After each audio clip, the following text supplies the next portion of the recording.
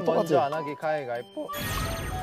ओ Jungkook जीत गया आह, अरे यार मैंने ऐसा क्यों किया क्या यहाँ पे कोई ऐसी बात है जो तुम पॉइंट पाने से पहले हमें बताना चाहते हो आह, मुझे शर्म आ रही है 오, 야 진짜. 야, 오, 야 진짜.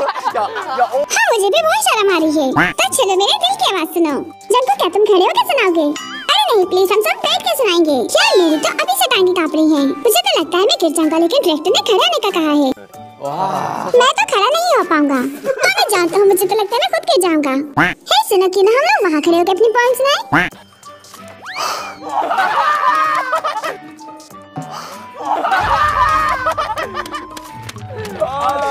야, 좀. मैं आखिर में हूँ लेकिन मुझे फिर भी डर लग रहा है।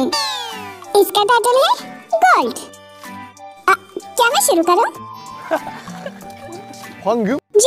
कुक गोल्डन ब्रेन जब मेरा पैदा होना था तब मेरी मॉम ने सोने की बारिश का खौफ देखा। उस गाँव में जिस चीज़ के भी ऊपर बारिश होती वो चीज़ सोने की बन जाती।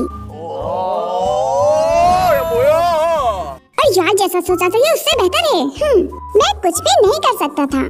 लेकिन मैं तुम सब लोगों से एक गोल्डन वक्त में मिला। मैंने खुद को शुरू से ही चमकते हुए देखा।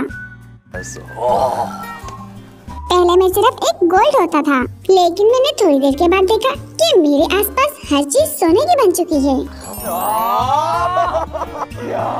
यार, ये तो पक्का मास्टर निकला। वाह इसने तो दिल चलिया और मैं इतनी कीमती रोशनी को नहीं खाना चाहता। ये सच में लाजवाब था। चंकुक में तो बचपन से ही शायरी का टैलेंट है। हे, चुप खड़ा मुझे शर्म आ रही है। तो अब अगली बारी किसकी है? मेरी है। हाँ। ओके वे शुरू हो जाओ इससे पहले कि मैं शुरू करूँ मुझे लगता है कि तुम लोगों को भाई बोलना मुझे थोड़ा अजीब लगेगा। ओके सुखजैन। तो इसलिए मैं तुम लोगों को तुम्हारे पहले नाम से बुलाऊँगा क्योंकि मैं कूल बन रहा हूँ प्लीज़ इस बात को समझना। हाँ मुझे कोई मसला नहीं है। हाँ मैं भी तुम्हारी बात को समझ सकता हूँ।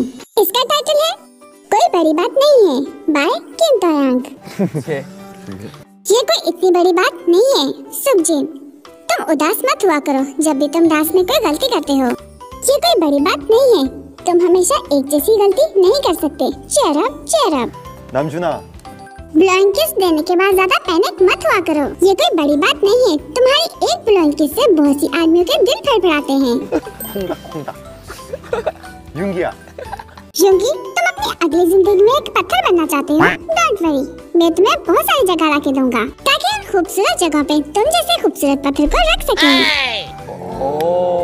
ये हो जब हमसे स्टेज पे कोई गलती हो जाती है तो हमें इतने बुरे तरीके से मत घुरा करो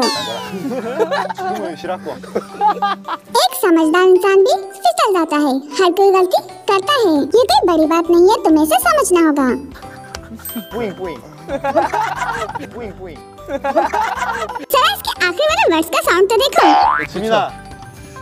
जिमिन अपनी डाइट की वजह से और थोड़ा गलत गाना गाने की वजह से या फिर स्टेज पे गलती करने से कभी भी स्ट्रेस मत किया करो। ये बड़ी बात नहीं है। इससे कोई फ़र्क नहीं पड़ता कि तुमने स्टेज पे कौन सी गलती की है। मगर ये फैक्ट है कि मैंने तुम जैसा कुल परफॉर्मर कभी नहीं देखा।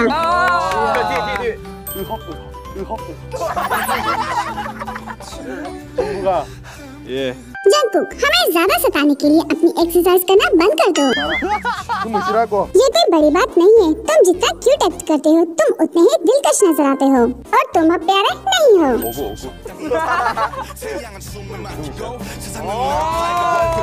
वावी तुमने बहुत अच्छा लिखा है। हाँ ज़बरदस्त। ये वाकई में एक रेड फॉर्म जैसे थी। मैं तो जिनकी फॉर्म सुनने के लिए बेचैन हूँ। ये तुम्हें तो अच्छे से लिखना ही चाहिए। अगर को हमारे पास एक अकलमंद इंसान और गोल्डन रिंग जैसी पोएम है। तो अभी अगली बारी मेरी। जैसे कि तुम लोगों ने बहुत ही अच्छे से लिखा है इस वजह से मेरे कंधों पे बहुत बोझ आ गया है। जिमिन की जैकेट देख कर ऐसा लग रहा है जैसे ये रीडिंग कॉम्पिटिशन करने वाला है। अरे मुझे सर्दी लग रही थी इसलिए मैंने कुछ भी उठा के पहन लिया। ओ, मैं तो अचानक से नर्वस फील करने लगा। तो मेरी पॉइंट का टाइटल है एक साथ।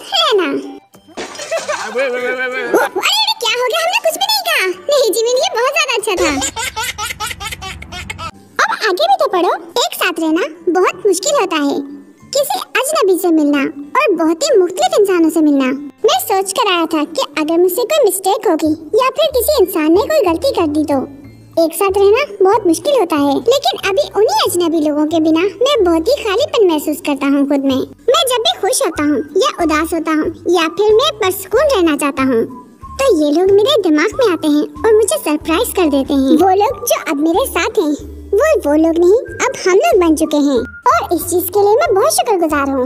हम्म, हम एक दूसरे से छोटी छोटी चीज़ें शेयर करते हैं और खुशियाँ बांटते हैं। मुझे उम्मीद है कि वो हमेशा ही खुश और हेल्दी रहेंगे। और आज इस चमकती हुई रात में हम लोग एक साथ फिर से बैठे हैं। मुझे लगता है कि एक साथ रहना इसे ही बोलते हैं। वाह मुझे तो ये बहुत ज़्यादा पसंद आई है। सच में ब्रो बहुत शुक्रिया। हाँ वाकई में जिमेंद्री काफ़ी अच्छी थी। मैं इसे रिलेट करता हूँ और इसका समझना काफ़ी ही आसान था।